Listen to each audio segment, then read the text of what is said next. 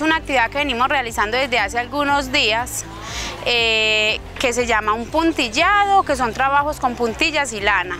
También hay trabajos manuales en bolsos, en buzo y pintura, que pintaron unas guadalupanas. Entonces los quisimos hacer en exposición para que el municipio se entere que los adultos mayores van, están haciendo labores, están haciendo trabajo, están ocupados. Después de esa pandemia tan larga, eh, ocuparles el tiempo en actividades manuales para mitigar un poco ese encierro que tuvieron. La experiencia de las puntillas, todas eran con susto, que esas puntillas como las clavaban, que no eran capaces, que ellas con los dedos bien torcidos, o sea, ellas tienen una autoestima muy baja, pero al ponerse a hacer las cosas son unas tesas.